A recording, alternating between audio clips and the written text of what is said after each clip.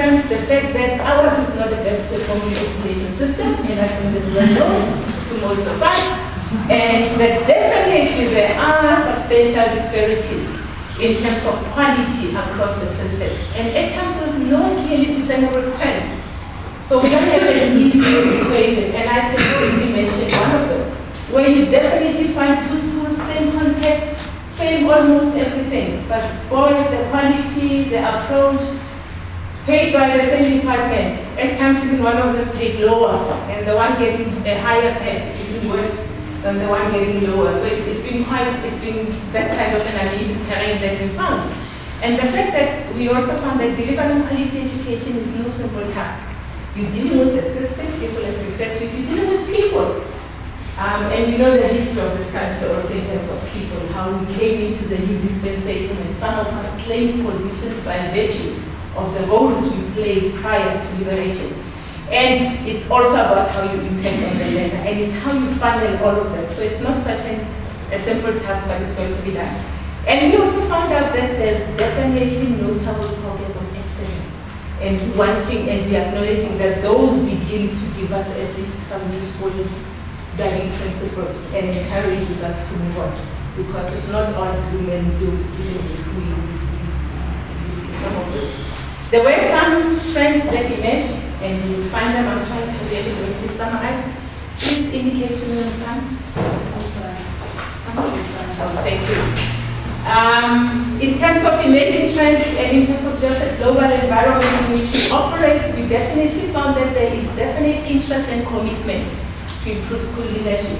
Not once did we come across anybody who said, forget, do about school leadership, we time.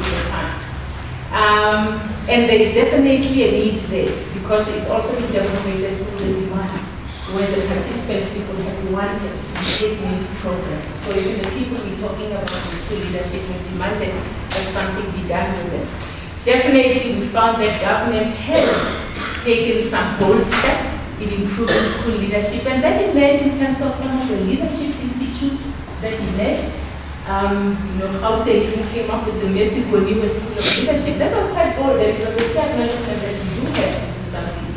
And I think even in other provinces, there's been introductions of new programs, the ACES and, and other certificates, but there's been quite some clear and well-articulated policy pronouncements that do give direction and say school leadership is not vital, but it is critical to, to, to develop quality education linked to school leadership, and also some political pronouncements that have been made.